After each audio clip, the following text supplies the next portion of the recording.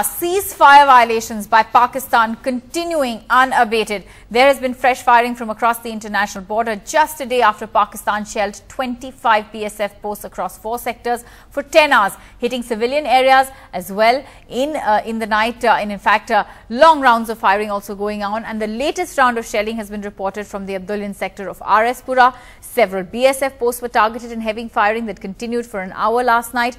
There have been over 200 ceasefire violations this year more than 150 in just the last two months alone.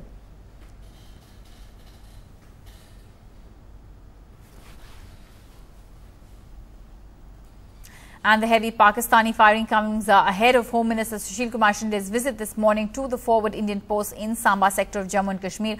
Now, Samba is among several sectors that has come under one of the worst shellings by Pakistani troops in the last 10 years. Pakistani troops fired at uh, Indian posts at 25 locations on uh, the international border on two consecutive nights.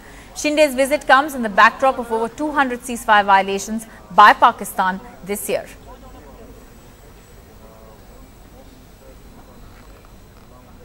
Well, my colleague uh, Zafar Iqbal uh, now joining us uh, for more on that. Zafar, we just saw pictures there of uh, uh, the Home Minister arriving in uh, Samba to take stock of that uh, security situation. Just take us through what's on the agenda today.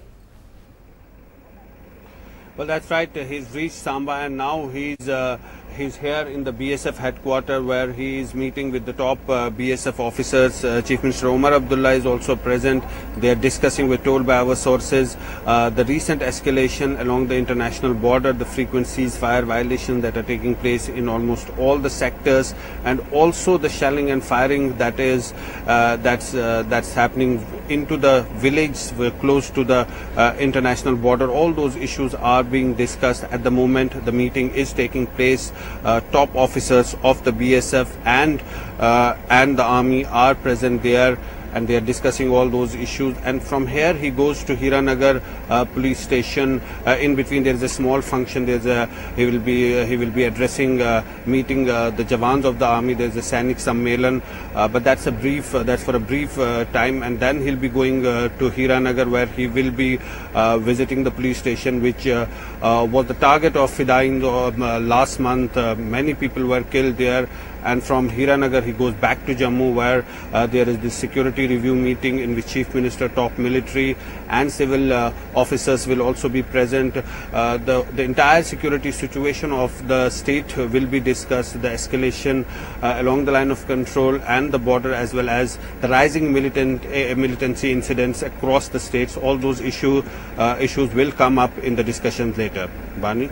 All right, uh, Zafar, uh, indeed a hugely significant visit there of uh, uh the Home Minister uh, in uh, Samba in Jammu and Kashmir to take stock of the security situation. In fact, lots of reactions coming in. the Union Home Minister, the in fact, Union Minister Shashi Tharoor has also spoken on the ceasefire violations that we've seen by Pakistan this year, warning them not to underestimate the Indian Army.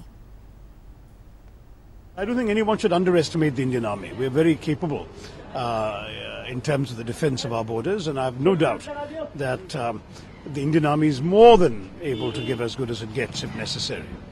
Having said all of that, uh, when you raise concerns about Pakistan's claims on Kashmir, these are consistently uh, uh claims since 1947, and there's no real uh, new element there. They have said this for some time, and we have rejected it equally vehemently.